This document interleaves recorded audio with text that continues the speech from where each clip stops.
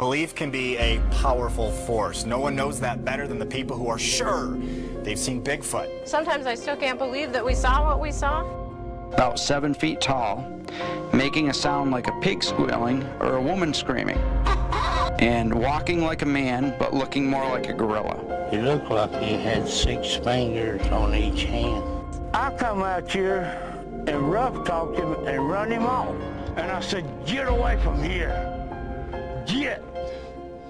Get.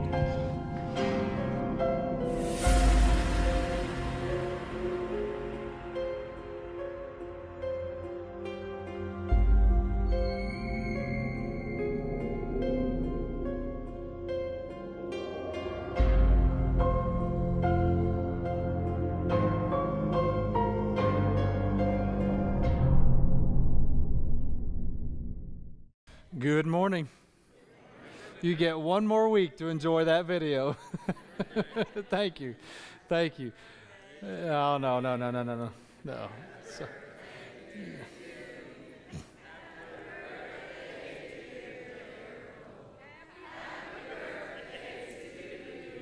Thank you very much. Thank you.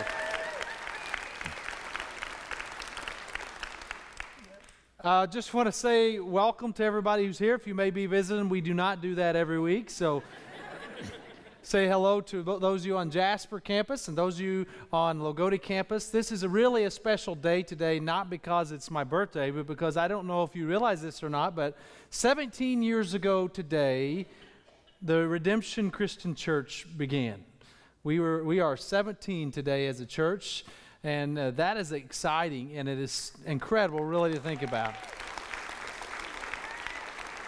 It was 17 years ago, exactly to the day, that I stood in a meeting room at the Days Inn uh, oh, here in Jasper, Indiana, and we preached the first sermon there and had the first service and had uh, a handful of people who said they, they would uh, be with us to call this their home and it's been a great experience. And I got to admit, when I preached that day, I never would have ever, ever dreamed uh, that God was going to do what He's. I knew He's going to do something cool, but to think that there would be over uh, 2,000 people who called Redemption their church home, to think that we would have uh, locations in more than one place, and that the lives would be impacted that have been impacted, that, that the lives have been changed, and the influence that we've been able to have, the impact for Jesus around our region and also around the world through, through the missions that we're able to support. It's just absolutely an incredible thing, and I just love it so much. But I know that it's been a great 17 years.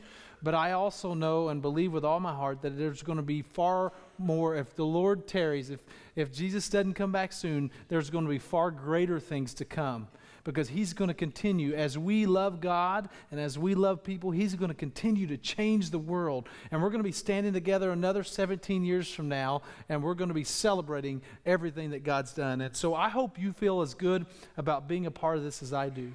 I thank God every day that I get to work here that I get to be a part of this ministry. I mean, it's just incredible that I get to be a part of this ministry with you all and on this journey together. And so uh, I just thank you again for letting me be uh, one of your ministers here and be a part of it. And I just pray you feel a blessing as well. Before we jump right into the message, I do want to take one more moment to just encourage you, implore you, to beg you to come on out next week. I know it's a busy weekend, and bring people with you. Rick Atchley, who is absolutely my hero in preaching, is going to be here to bring a powerful message, and you will not want to miss it. You will not want to regret it. Uh, you will regret if you miss it. You, it's not one of those that you just want to catch online later. You want to be a part of the worship service. It's going to be special. And so I want to encourage you to come on out for that. Okay, if you have your Bibles or uh, a phone or device, go to Proverbs chapter 22. Proverbs chapter 22. If you don't have a, a device or, or, a Bible with you, then go ahead and grab a church Bible out of the chair on the table up top. Open it up to page uh, 387. Uh, page 387, and we're going to jump right in there with a verse that probably some of you have heard. But uh, in this series, uh, Urban Legends, Spiritual Myths, uh, that people believe, we've been looking at some of the spiritual myths that just get passed on uh, from time to time that people believe are in the Bible that are not actually in the Bible. We're not actually talking about Bigfoot and Loch Ness monsters. We're talking about spiritual urban legends. And here's the deal there are some innocent spiritual urban legends, but there are many, and some of them that we've talked about, that are quite harmful and devastating when believed. And so they cause all kinds of confusion and problems. And I believe today's is one of those. In his book, 10 Smart, uh, or 10 Dumb Things That Smart Christians Believe, Larry Osborne, a pastor, tells a story about two different couples. The first couple is named Don and Sharon. They have three grown sons. One of their sons is doing really well in life. He's a model citizen. He has a great job, a strong marriage. He has a vibrant walk with the Lord. The other two sons, well, they're kind of a mess. They're really a mess. One of them is big time a mess. He's in jail. Um, he's pushing 40. It still hasn't found himself. He, he's been on job number 15 and, and wife number who knows what.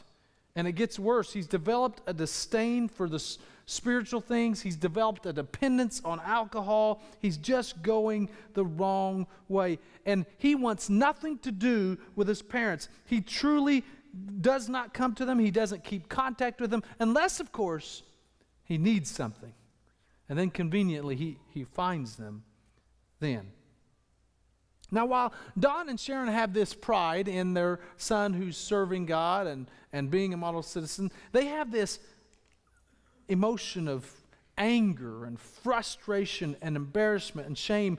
And most of all, their biggest struggle is guilt over their prodigal sons.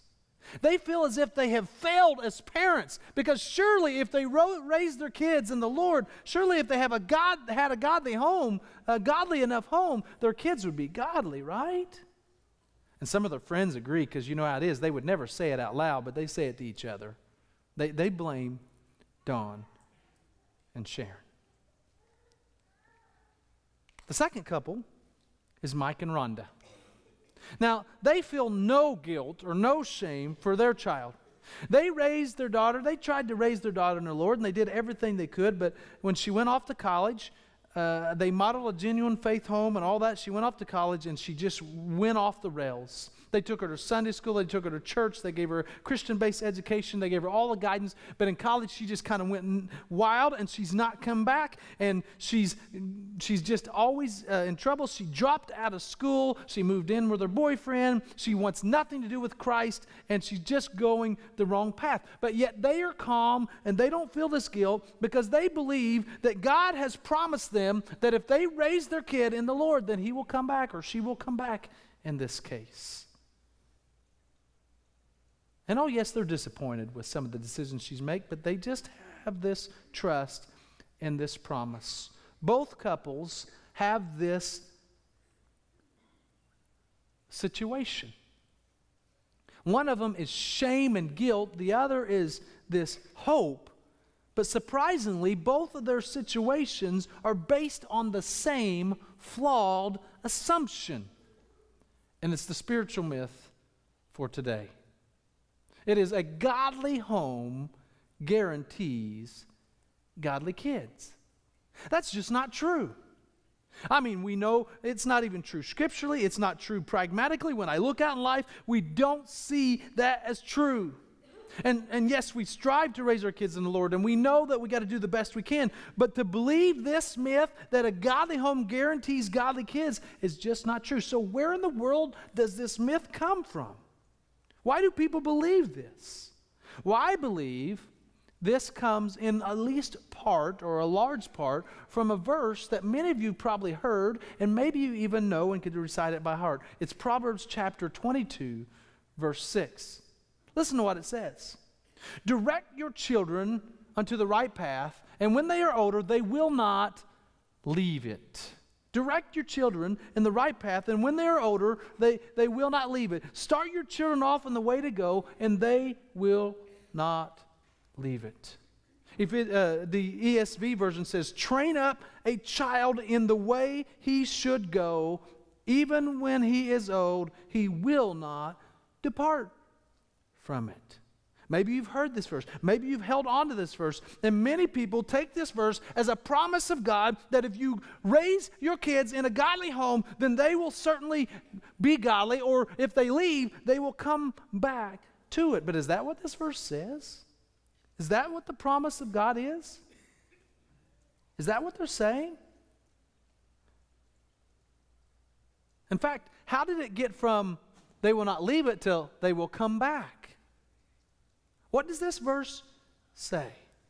Now, to understand a little bit about this verse, I, I want to give you just a little bit of teaching today about how the division of the Bible is, how it's divided up. Jewish scholars for years had divided the Old Testament into several different categories, several different genres, and you need to understand what Proverbs really is before you start looking at it this way.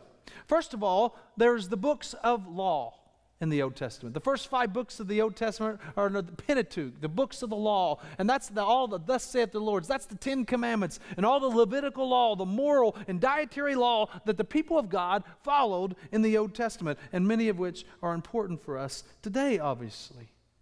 And then you have the books of history, Joshua and Judges, that describe the people of Israel's history during that particular time period, and other books. And so you have that division. And then you have the book of prophets, and that's even divided up into different kinds of prophecy. There's minor prophets and major prophets. And so you have those prophets, and they describe prophecy during a specific time of the people of Israel. And finally, we have another division, another genre that's called wisdom literature. Wisdom literature, which is a different animal altogether. Wisdom literature, literature is God guided observations about life, and wisdom about life. And wisdom liter- literature includes the Psalms and Job and Ecclesiastes and Song of Solomon and Proverbs.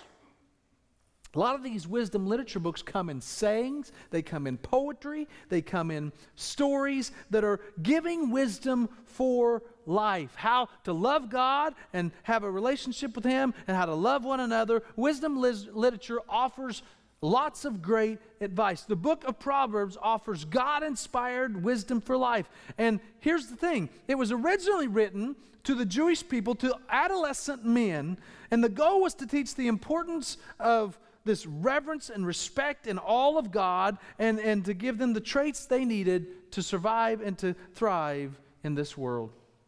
A common theme throughout the book of Proverbs, in particular, is this two roads are there. There are two roads that have two very different destinations. There's a road that leads to fulfillment and following the ways of God, and there's a road that leads to destruction and suffering and death. There are two roads to travel. And Proverbs is trying to guide you to the right road.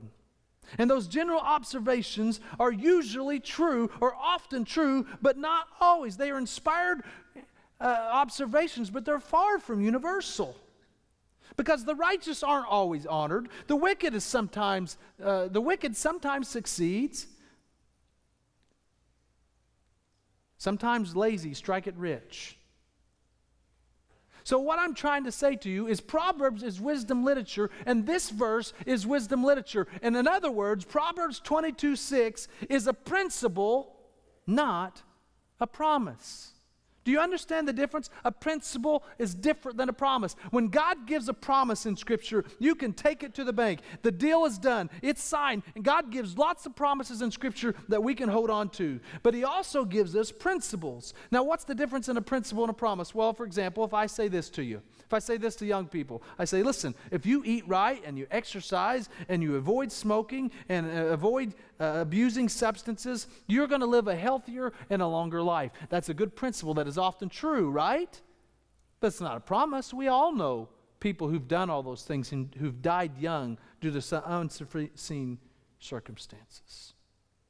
Or if we say to, to people, hey, listen, you need to work hard, save your money, and don't go into major debt. If you do that, you're going to have financial peace and stability later on. And that's often true as a general rule.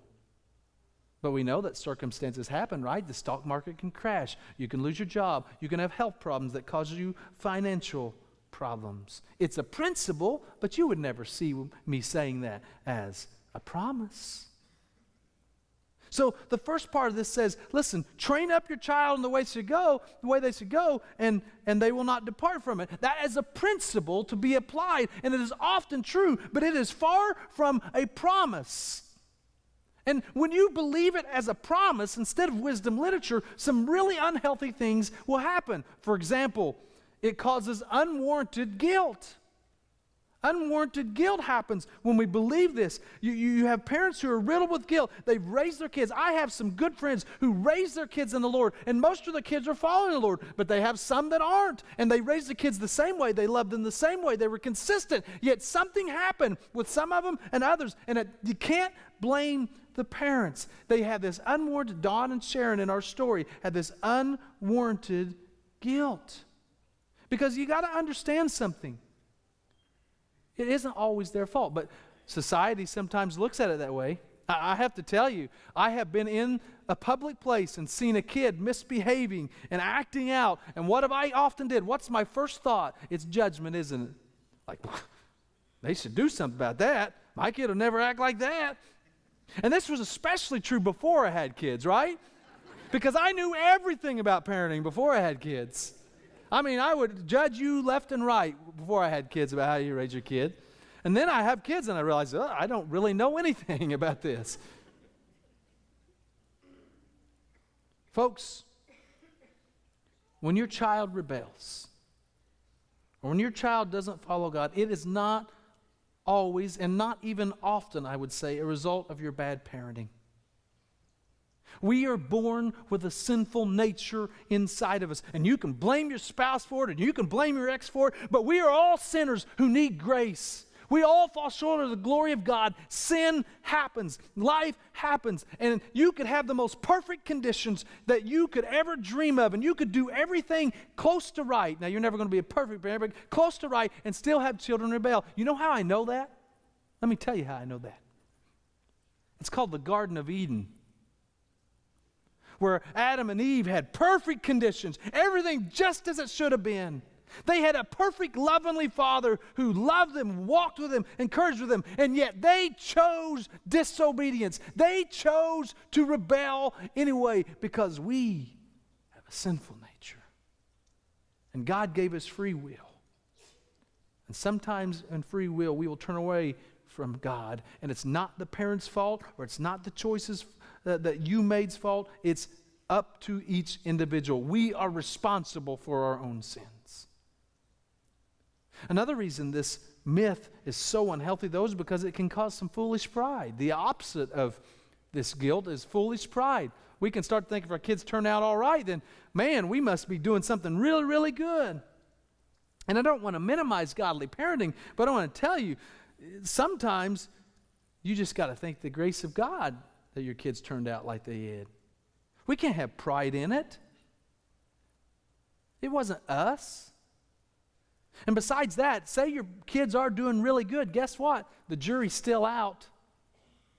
Do you realize that?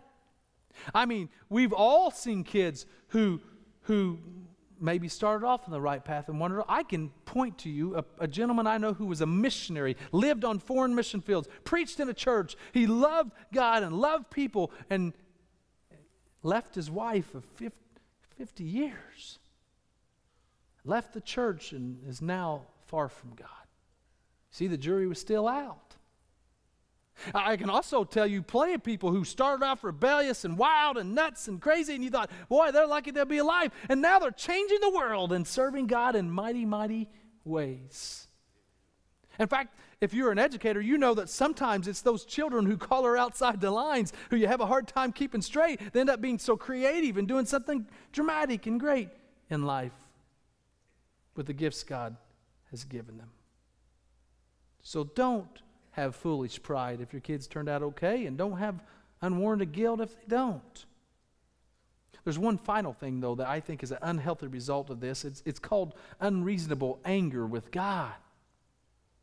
We, we start to blame God because we say, You've promised they would come back. And that's just not true. I have buried children, adult children uh, of people who raised their kids in the Lord. They went away and they never come back, and something tragic happened.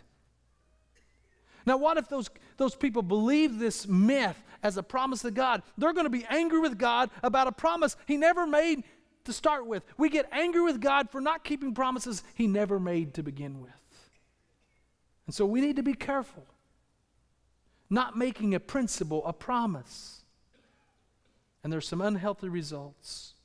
Now, I say all that to say don't lose hope if your kid's wandering. Don't lose hope if, if things aren't going the way they are because I, I believe so much in the power of God and how He changes lives. And here's what you need to know godly parenting still matters.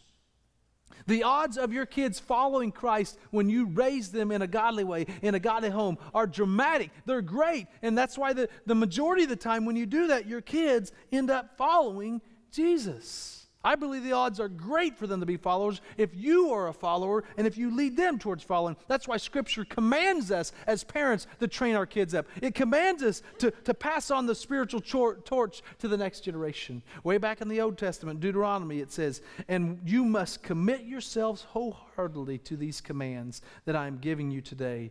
Repeat them again and again to your children. Talk about them when you are at home and when you're on the road, when, you, when you're going to bed and when you're getting up. Tie them to your hands and wear them on your forehead as reminders. Write them on the doorpost of your house and on the gates. What's this saying? It's saying, listen, the Word of God, put it in your heart, put it everywhere. Talk about it with your kids when you're driving down the road, when you're going to bed, when every chance you get to pour on them about God's way, you do it. You do it. And the New Testament continues this thought of passing the spiritual truth torch when Paul says this to the Ephesians Fathers, do not provoke your children to anger by the way you treat them. Rather, bring them up with the discipline and instruction that comes from the Lord. He's given some really sound advice. Bring them up. He says, listen, don't browbeat them. Don't think that rules make a, a, relationship with God. They don't. Rules are important, guardrails are important, but they won't make it alone. But at the same time, don't just let them run. You teach them, you put guardrails in place. He's saying, give them the careful instruction of the Lord. I've heard it said that rules without a relationship equal rebellion a relationship without rules equal chaos. But it's only when you put rules in the relationship together that good things can happen. So it's important to be a godly parent. It's important to be as faithful as you can. But the reality is, that's all you can do. God doesn't call you to the results, He calls you to be faithful to the process. So, since godly homes matter, since godly parenting matters, I just want to give you some principles here as we bring this message to a close that I think are universal from Scripture that can help you along this process. The first one is this if you are going to have godly home, then you've got to pray all the time. Pray all the time. I'm telling you, there is power in prayer. Paul, Paul talks about praying without ceasing. He means all the time. It means as you're going, you, you set up times to pray and you pray as you're going. You just pray and you pray and you pray. I'm telling you, parenting is a big deal. It's tough. And prayer is a survival tool. Godly parenting is important and it's un attainable without prayer. The book of James says, the prayer of a righteous person has the power to produce wonderful results. I'm telling you, prayer is powerful. I believe in the power of prayer because it increases God's presence in your lives. It, it, it, it, it shows a dependence on God. You're saying, I cannot do this on my own. There's no way I can do this. I need you, Lord. And that's what prayer does. And I want to challenge you to pray for your kids. Pray with your kids. Pray with them at night. Pray with them over the morning. Uh, one of the things I do at night when I pray with my kids, uh, Ivan Stubbs, our, our pastoral counselor, he gave me this really neat tool. He gave me a, a list of papers that had descriptors on there, some adjectives and, and, and adverbs that described uh, different things. And he said, Here's what you do he said, I, have I've done this myself and I've passed on to others and it's powerful. You go through there and you pick out ones that, that describe your children. And when you're praying at night, you include those. You thank God for those. So, for example, if I'm praying for my daughter Olivia, I might say, Lord, I thank you for, for her creativity and for, for her, her study skills and how smart she is. And, and, and I say those things. And she, not only am I talking to God, but she hears those things. And I say to my son, you know, I say when I'm praying with my son, Lord, thank you for his energy and for his passion. And I thank you for his sense of humor. And I say those things and I pick out different ones at different times and they hear them. And sometimes they even ask me about them. Because I'll tell you what, what you believe the most important in, person in your life believes about you goes a long way to what you believe about yourself. You understand what I'm saying? What you feel the most important person in your life believes about you goes a long way to what you believe about yourself. So if your children and your grandchildren and, and the people you come into contact with that, that believe in you, that believe you, that, that want to know what you think about them, they believe you think these things about them, it starts to become a reality in their lives. Prayer is essential. There's something else, though. If we're going to have a godly home and raise our kids in godly home, we got to live a consistent and authentic life. I have so many people, and I'm not trying to be judged here, but I have so many people who curse and yell and scream and act bad about people when they're around their kids and, and they're on the job, and then they expect the children to believe the faith that they claim they proclaim, they live. And listen, none of us are going to be perfect. We all sin and fall short of the glory of God. But don't use that as an excuse not to grow more like Christ, not to be a better example for Christ. If you're still doing the same thing, if you still have the same temper that you had when you came to Christ, something is wrong in your walk with Christ. And your kids will see it, and they can pick out a respectable fraud quicker than anybody. They can. If you hold grudges, if you're gripey, if you're dishonest. I mean, if you're calling into work and saying, hey, I'm sick, and you're really going to play golf, don't be surprised when your kids lie to you about things. When you're talking down to your spouse or you're complaining about someone at church, don't be surprised when your kids don't want anything to do with the faith you say you have. I want you to know something, folks. While faith is taught, it's more caught than it's taught. I mean, all of us who are parents have seen our kids picking up bad habits that we have, and we feel bad about them when we see them in somebody else. I want to tell you, your kids need to see you living a consistent life. They need to see you uh, living an authentic life, which means you're honest and repentant when you mess up, and you let them know you're not perfect. But you don't use that as an excuse not to grow in Him. Integrity matters, character matters when kids see you. And the old adage, don't do what I do, do what I say, does not work. I have a friend who preaches in one of the largest churches, uh, Christian churches in the country, one of the largest churches, period. He's well known all across the country. He's wrote books, he's traveled. He stands before over 20,000 people and preaches each week. But you know what I'm most impressed about this guy? I know his kids. And you know what they say? They say something that I hope and pray my kids can say. My dad is the same guy at home with us as he is when he's standing up in that pulpit and preaching when your kids see that kind of consistency and that authenticity, they will want it. They will hunger after it, oftentimes.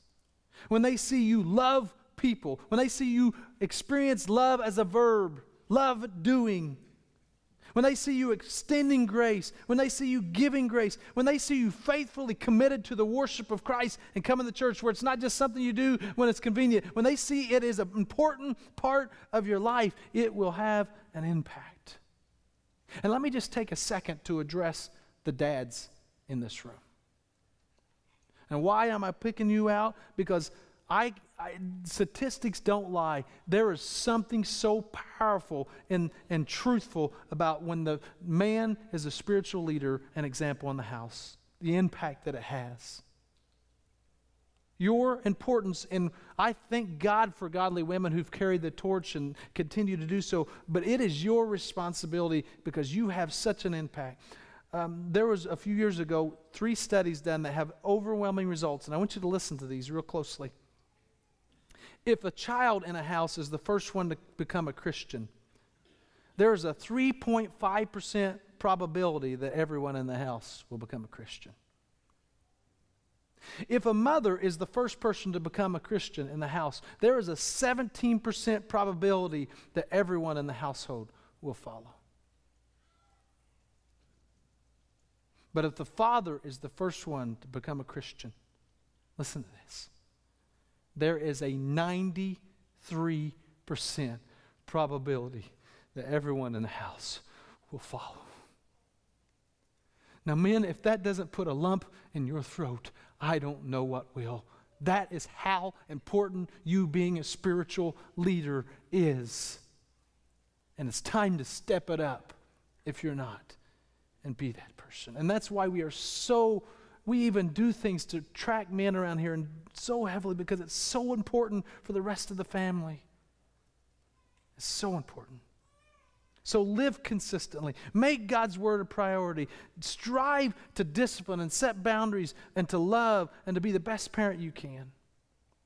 And that brings me to the last bit of advice I can give you. And that's that you need to practice grace regularly. And should I say liberally?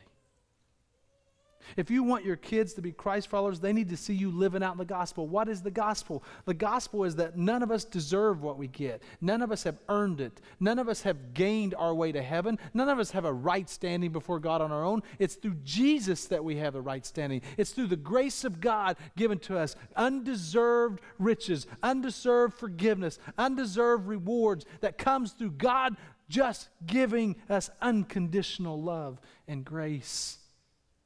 And they need to not only see you doing that to others, you need to do that to them. That doesn't mean you condone their sin. That doesn't mean you say it's okay, but you love them unconditionally anyway. You never give up loving them. You never stop. You keep loving them until the very last breath that you have because you know that the best way to show them God is to model the grace of God. And He's been so graceful to you and so graceful to me and we have to pass it over. Grace covers a multitude of sins. Folks, parenting doesn't come with a guidebook, it's not a formula, it's a faith. And it's trusting God. And it's understanding that sometimes your kids will make the right choices, and sometimes they won't. But when you stand before God, what He wants is faithfulness. And you leave the results to Him and to them. So just keep trying, keep praying, keep pressing on. And you be the best example of Christ you can to them. And I would say more often than not, they'll come to Him. But no matter what, we just keep trusting and loving God who's given us so much. He's the perfect Father. Let's pray. Father God, I'm sure in a church this size, there are many people who are struggling with this.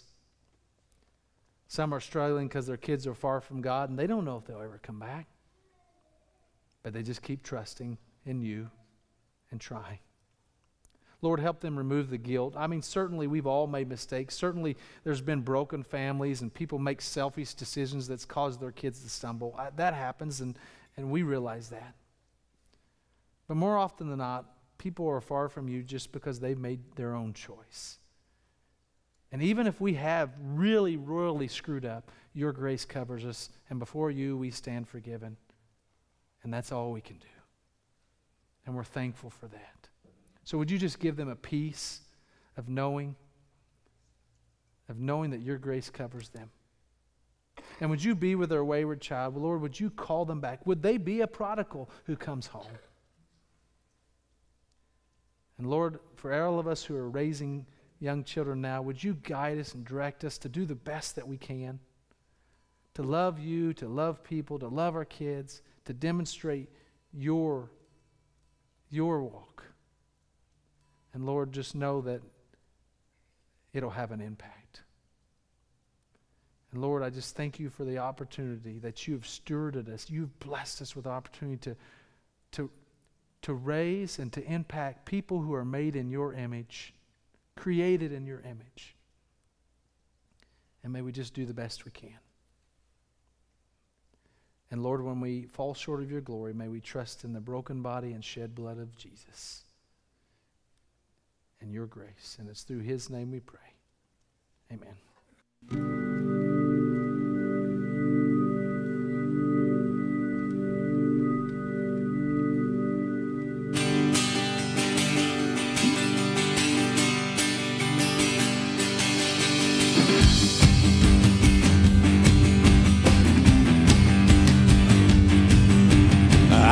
was an orphan lost at the fall, running I But Father, you worked your will.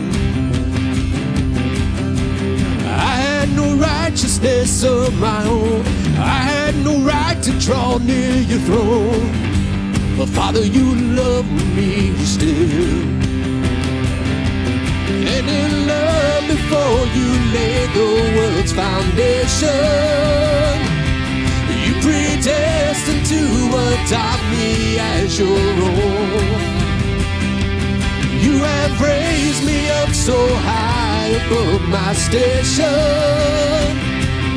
I'm a child of God by grace and grace alone.